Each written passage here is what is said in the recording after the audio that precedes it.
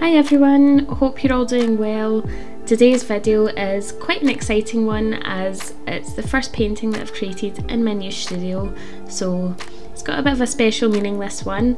And I decided to paint it with some colours which I don't think I've ever really used together before. Um, and I think I've appropriately named the painting Coffee Spill so you'll see why shortly. Um, but it was a lot of fun, I just wanted to do something that would help me relax and get back into painting. Um, I was a little bit concerned about getting paint on the floors and the walls and that happened anyway so hey that's the whole point in having a studio. So it's all good. Um, I'm going to stop blathering and hope you enjoyed the video let me know what you've been up to in the comments and I'll see you in the next one. Bye!